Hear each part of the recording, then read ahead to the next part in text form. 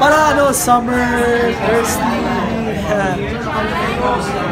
But Alex, um, pa-thirsty ka ba in real life? I think when I was younger, definitely pa thirsty ako. Medyo, medyo kumalma na tayo.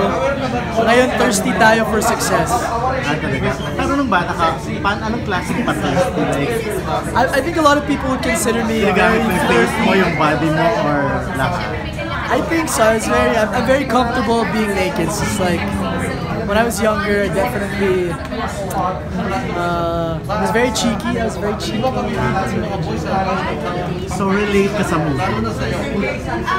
Yes, I definitely relate to Ali. If you watch the movie, si Ali talaga, uh, very close to my heart talaga. Alex, sandali, kumusta yung, ano, yung scene mo with Adriana and Kate Pitch? Grabe, napakaganda at gwapo nilang dalawa, di ba? So, hindi ako nahirapan sa eksena. Hindi Uh, ba siya weird for you na babae yung tapos the following, eh, lalaki naman yung partner mo? I mean, Although film lang naman ito, pelikula lang. it's, it wasn't too difficult naman. I mean, I mean, sex isn't hard, but I guess having it on camera, making it uh, beautiful for an audience, um, and the way we attacked yung bawat eksena, yung, kasi uh, sexy with a boy and sexy with a girl, and syempre I think like in that scenario, uh, kami, ni, kami ni Adriana, yung mas may alam about sex with each other kaysa sa kay Direk at that point, diba? So, there was a lot of trust with Direk where, okay, alam niyo yung ginagawa niyo kay uh, with Kitch, basta iba yung atake sa both scenes. Mapapansin niyo, iba yung attack talaga. Tanong ko sana kung in real life kung may enjoy mo. Uh, like I said, like I've said before, I don't identify as um, straight. I'm not gay. I'm bisexual. So, Tatanong definitely. kasi, Ana kasi is uh, lesbo, so... Yes, yeah. Ass is ass.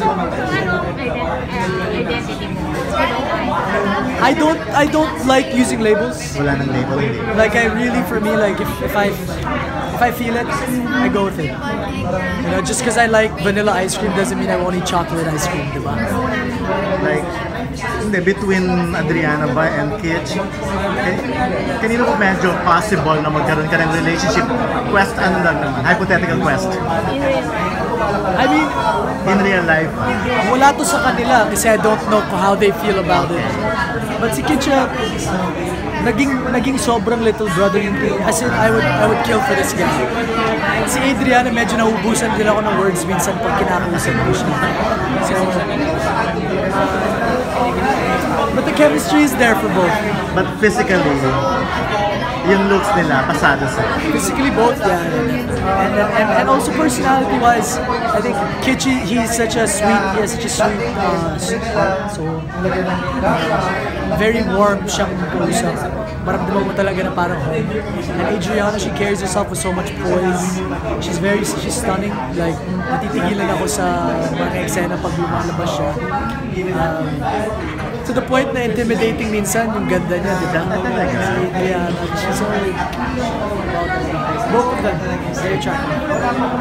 Pero yung sinesyo mo, may bad exposure ka. But, But exposures, marami. Ah, marami. Ang tanong ko, pagkataas ba nakita yung bad, parang siya ba?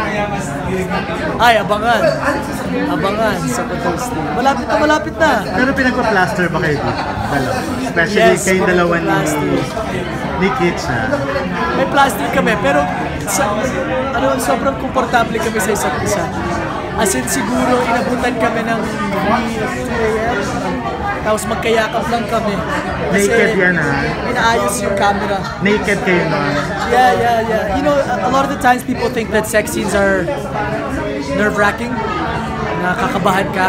Pero pagkatapos ng initial initial ka ba, ano na siya eh, nakakapagod kasi ang daming hintayan. To the point na mawawala talaga yung ilang mo. Pero, Alex, anong feeling pag may all out or openly gay na nag-admire sa'yo? actually hindi lang admire, nagpa-fantasize sila. Or naglalandi. Wala akong, wala talaga akong pinipiling gender. So anyone na nag-admire sa akin, it humbles me.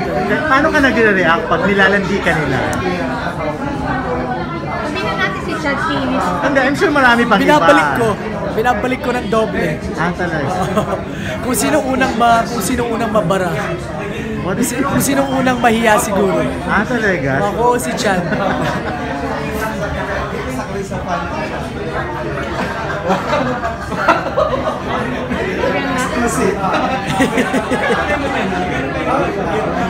Pero, na-experience mo yon Yung, nung time na nag-open ka, mas dumami yung, nag, parang nag, ano, nagkakagusto. Na nagkagusto.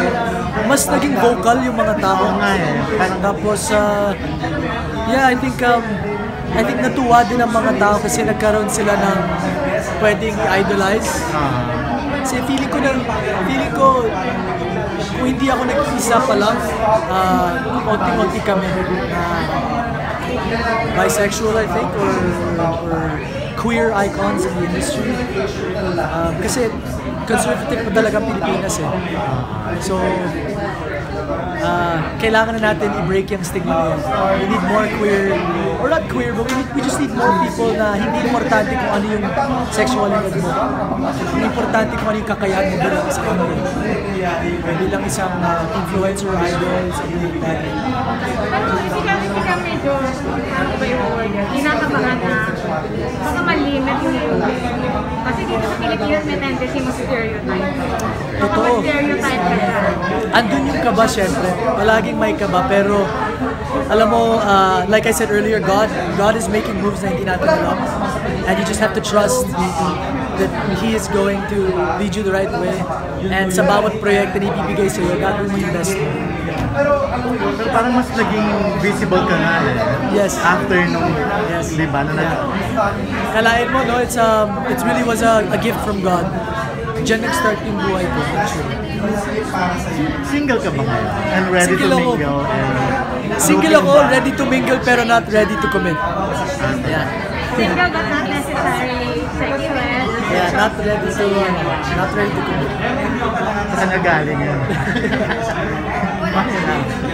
Thank you, Alex. Thank you, guys. You're definitely gonna see uh, more of me than I've ever put on screen. Of course, with the with the um, trusted guidance of my director, talaga. As in, uh, the, the, the sex scenes were something that we talked extensively about nung preparations pa lang. And um, I think uh, it's a mixture of trust with Direk Ivan and a mixture of trust with my co-actors. Um, so I think you guys are gonna see very spicy love scenes, uh, very honest chemistry, and um, yeah, honestly, at this point in my life, I feel like my career is so much more than just a personal thing. It's become a beacon for a lot of people who don't see representation in the media, and for me, that that gives me so much purpose. So uh, honestly, me and my manager, who's here right now, uh, Mac Merla, lag, palagi namin sinasabi, sexuality really is not an issue for me. If the material is good, if the material can stand, we'll do it. Thank you. Thank you. I mean, I would like to differ. These two, sobrang sexy nila. But I think, um, lahat kami, lahat ng characters, lahat ng lines, bahagi ng utak nito. And I think Derek's mind is so sexy. He's able to make this movie. Um, sabi nga nila, it's a sexy comedy. It's not a comedy na nilagyan ng sexy. So, parang na- dalang-dala nitong tatlong to, yung mga punchlines, and kung mapapanood nyo yung pelikula, hindi pareho ang comedy nila. Iba-iba, pero nagsishine sila lahat. And, um, yeah, I think the abandon, yung abandon namin sa isa't isa, me, Adriana, me and Kitch, because we have, I have love scenes with both of them, and it's not gonna work if you're not completely invested. So I think that that was a sexy thing for me na uh, yung trust doon na kaya namin talaga tumalon sa bangin kumbaga. Yun. Thank you, Alex. Yung last question ko,